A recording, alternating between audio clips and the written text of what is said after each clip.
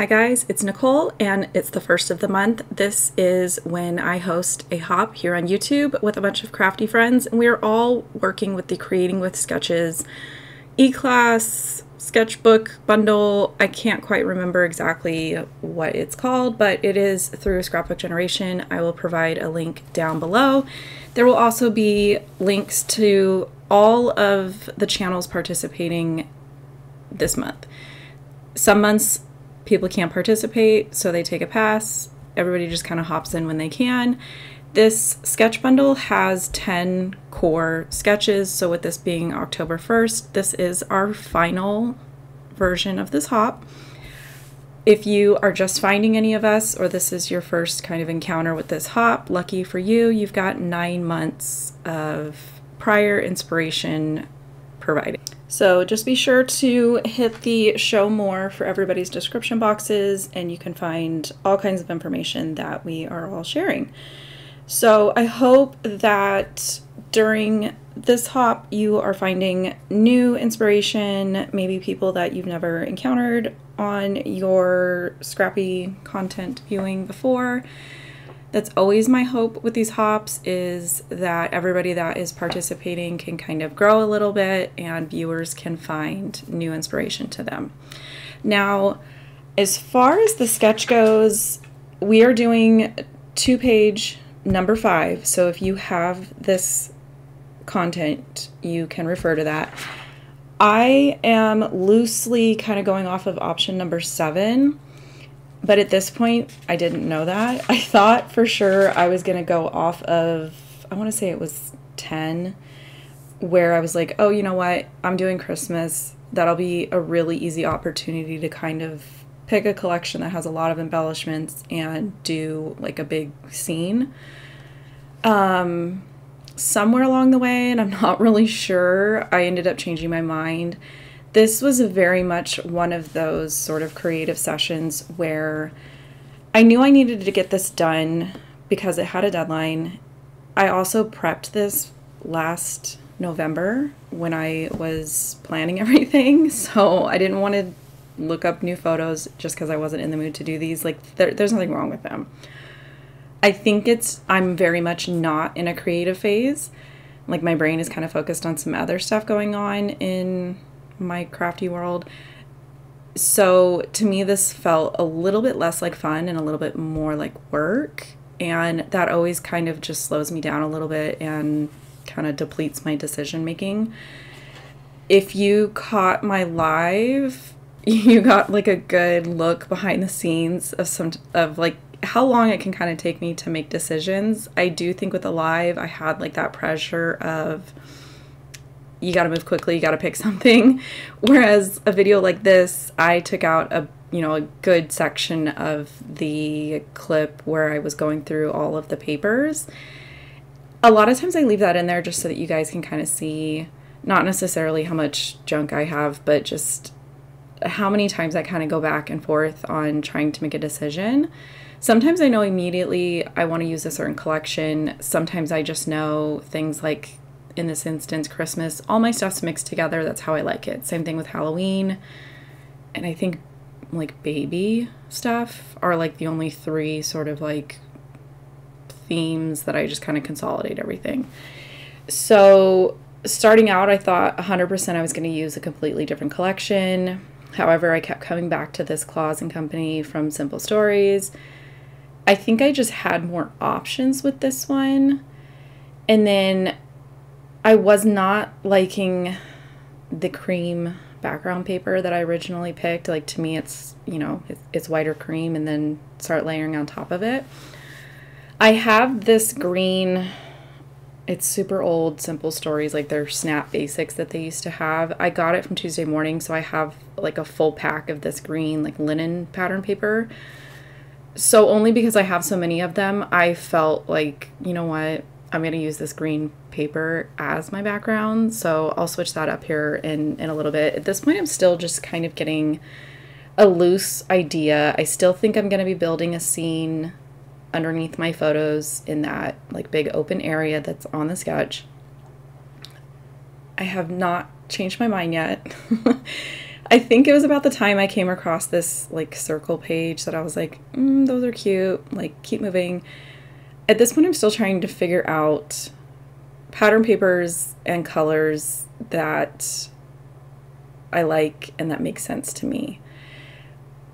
And because I'm not finding things that make sense to me, is where my brain is immediately bouncing around to like other ideas. And I had the sketch options open to my side and I saw the one with all the circles and I was like, you know what? I don't know why, but the circles are kind of calling to me. Like, let's punch a couple test circles and like lay everything out and kind of see how I feel.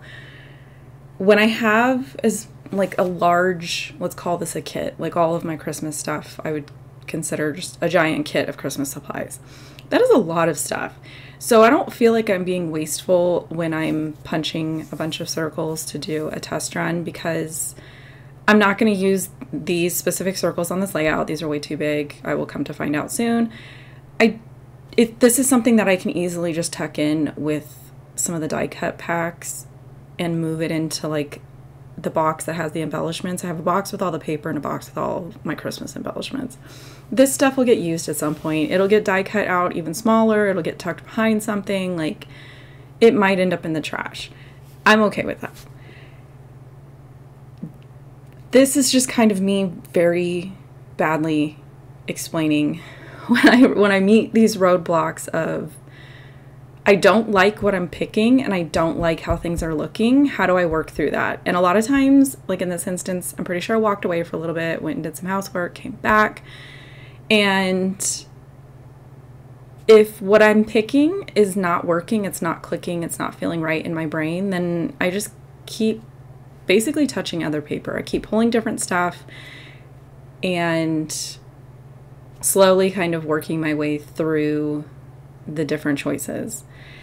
I found more of those Snap Basic papers in my closet, and I just kind of pulled out some of the reds and the greens. I felt like this was a better option than some of the patterns that I was looking at. So I'm going to map my photos in this red that I found. I'm going to check my circles and see how my spacing is. If I used this larger size, I would cut them in half and have them kind of jump the margin. So at this point, this is this is working. This is great. I'm going to use this larger circle punch that I have.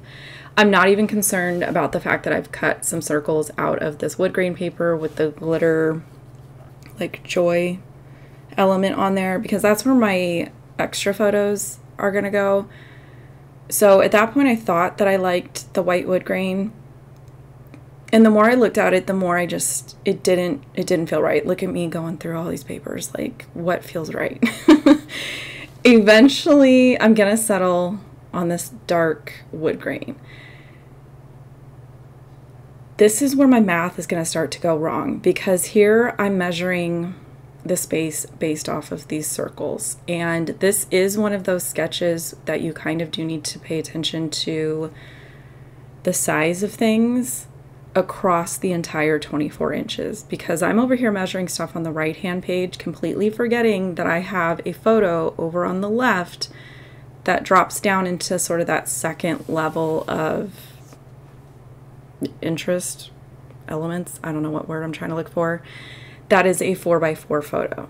So this bottom section should, at the bare minimum, be four inches tall, and I've cut it to five and a half. I have not quite figured that out yet. I'm over here like, yep, this is great. Page two is satisfactory. Like, let, let's keep going. It's when I come over here and I start putting the left hand side together that I realize that there was some math on the left that I ignored and it's fine. I I try to leave in math mistakes and stuff so that you guys can kind of see. Sometimes when I'm looking at sketches and I'm changing them, I'm forgetting to make sure if a specific sized element is in the area that I am modifying. So in this instance, there's a picture of my kids playing in the street with a rocket, and that is a 4x4 photo. That 4x4 photo is sort of indicating the sizing for that whole row but I forgot about that. And at this point, it's still not clicking.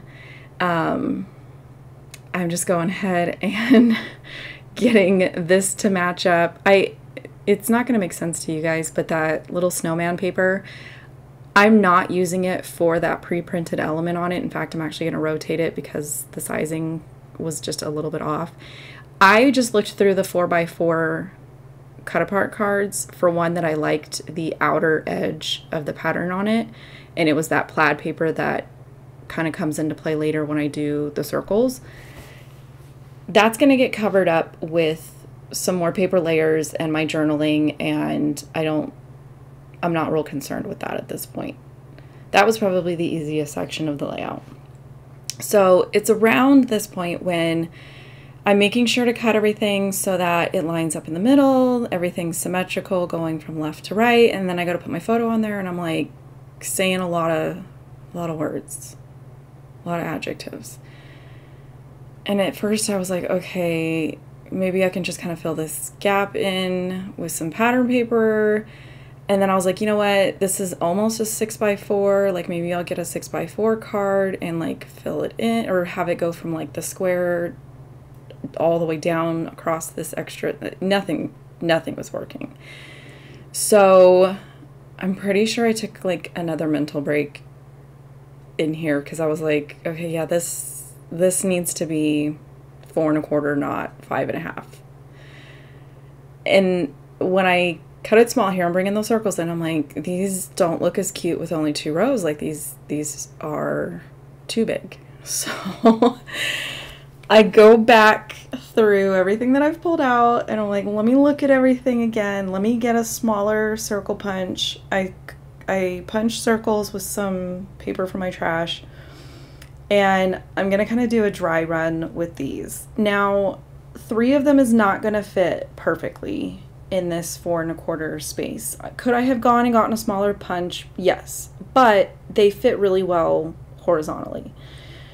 So I'm just going to end up cutting the tops of these circles off and kind of have them look like they're running into the margin between the photos and this like design area. I would rather cut off the tops than the bottoms. That's just a personal preference. Um, the variation that I was also going off of is one of the few that removes the center element, which, again, if you have this sketch, you know what I'm talking about. Like this one has, most of the variations have this center line or center like shelf of repeating embellishments between the photo area and the pattern paper area. The circle variation kind of eliminates that, so I'm just going to kind of mix some of the different variations and some of my original concept of building a scene and bring that sort of shelf back in, which you'll see after I after I get going on getting everything down. I did end up chewing up that whole background paper, but again, it didn't bother me because I have a whole pack of this paper. So thankfully, that was the choice that I had made for my background papers. Otherwise, I would have had to get get my surgical tools out and be like really careful about it. Now I'm gonna pull out a ruler and my pencil and I'm just gonna make the lines where I want to do some stitching. I decided that I wanted to do some like corner stitching, but it's not to be symmetrical. Some sides are shorter, some sides are longer. This is just a way for me to bring some more interest to that big kind of empty green area without bringing in more paper or embellishments. Like I just want something subtle. And again, something to kind of like frame everything. So I'm just going to do some stitching in the corners, which uh, I think you might be able to pick it up on camera. So I left this in real time so you guys can see that I am a slow hole poker. I've been using this wooden one that Lisa Brooks recommended to me on Amazon. It's okay. It's not my favorite. I have small hands and sucky hand strength, so my little chubby one feels better in my hand, but I can't find that one and it's probably about like I can't find it to recommend it to you guys and it's about to break anyways, so it it was time to get a new one. I just make sure to take breaks because the skinny size of that one makes my hand cramp.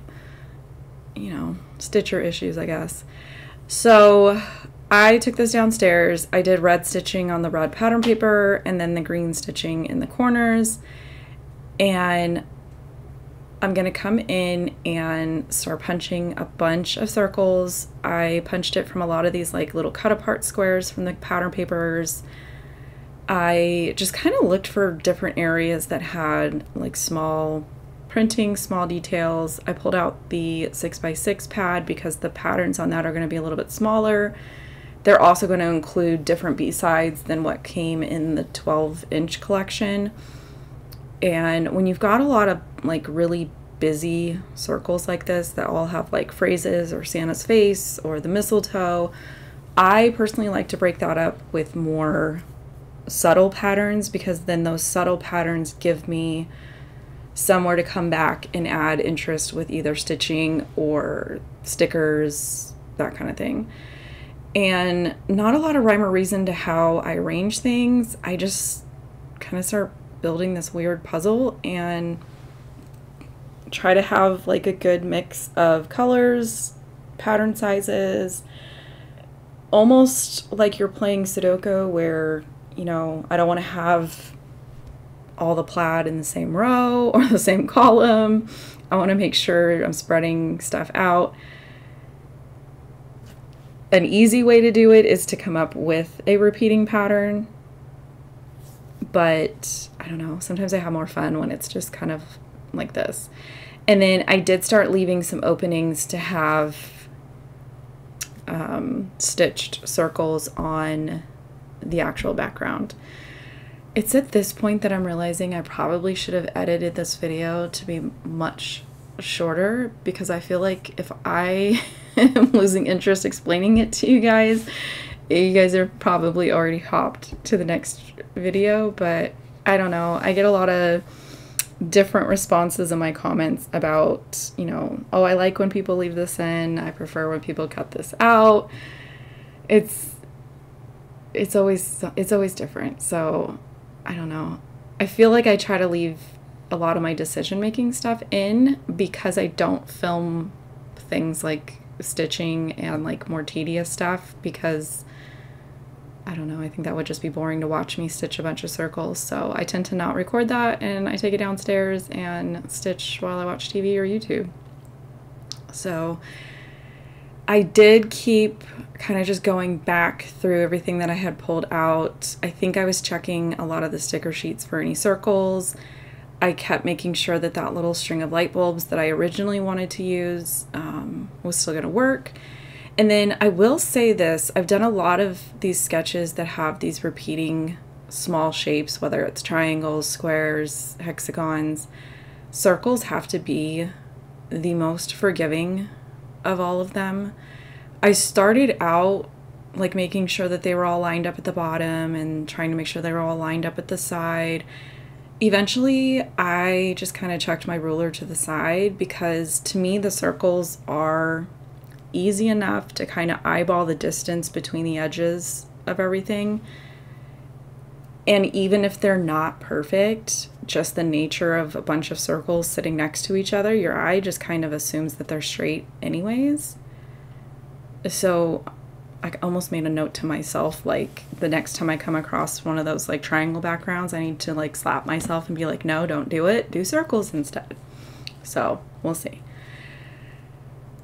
This point, we have jumped the timeline. I'm quickly just kind of showing you guys. I print my journaling out and I mark the edges. Basically, I'm marking where the printing, like the edges of where my printing is, so that I can, I don't need to see the text to line up this tag. I only need to see those lines and make sure that those lines are centered on the pre-printed area of that tag. So I've covered this a ton in videos. I think I even have a really old one where I showed you guys how to do this using the monitor on your computer. Um, I will not be linking that because it is like embarrassingly old. so if, if you find it on your own, congratulations. I did start layering some pattern papers over there. I brought in some of that wood grain that I had punched circles out of. I tried to keep like the patterns that I had already used as the choices that I was making for other areas. And then I did make sure to measure this string of lights has like two swoops and then a big swoop. And so I made sure that where I was going to cut it was going to meet in the middle and it wasn't going to look weird. And so that big swoop is going to go on the right and then I'm just going to line up my photos to where they're going to cover the end of it and you'll never know that that sticker doesn't go all the way through. When I was measuring the sticker was kind of the point where I was like, oh, it looks weird. It needs some sort of an edge. And I I could not pick a color and when I can't pick a color, my go-to is to pick a metallic. So I grabbed my 6x6 gold paper pad and just cut some, mm, about probably like, I don't know, quarter of an inch strips. We're going to ignore my giant head. And I just kind of used these as a divider. Um, I did cover up part of my son's head and his forehead. I was like, dang it, whatever. We're we've we're too far. like I could I probably could have pulled the photo up, trimmed the bottom, scooted it down, but I feel like there's a part in in a layout process where there's sort of like no take backsies and you're just you're just committed whatever the end result is based on your choices you got to own them so it's fine his forehead is depicted in the other photos he it's not like he lost his forehead it's just not 100% visible on that specific photo so this is where most people say is their favorite part. They like the embellishing phase. I don't. Um, I think paper and photos is probably my favorite part. I think for me that with embellishments, there's just too many options and I don't know. There's just too many things going on. But this is one of my favorite methods to embellishing is being able to just add a bunch of random stuff to a repeated shaped background like this because the phrases don't really matter. I'm kind of more just looking at color and the basic phrase. And it's an opportunity to use up some stuff that I probably wouldn't normally pick.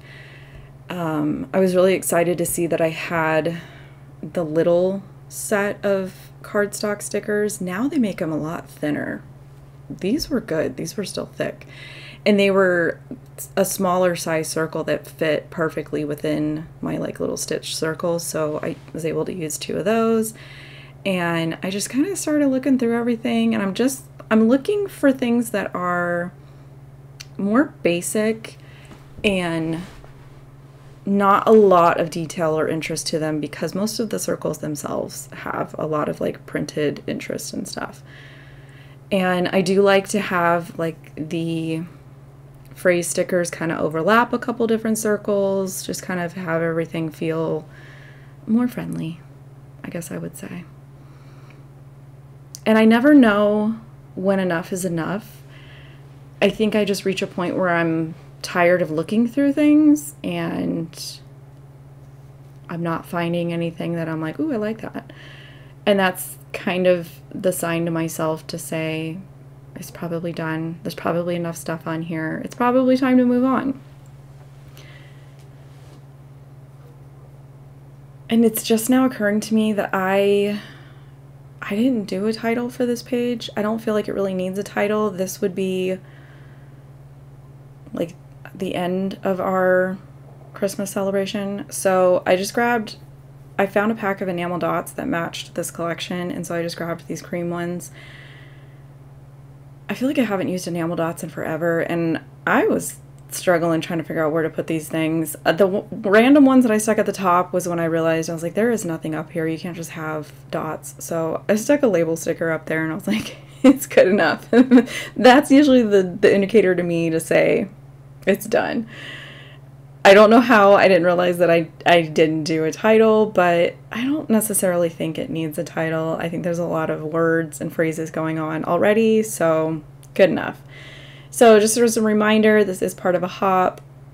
links down below, a couple suggested videos here as well. If you haven't subscribed already, I'd love you to join me on my little chaotic journey, and I'll catch you guys later.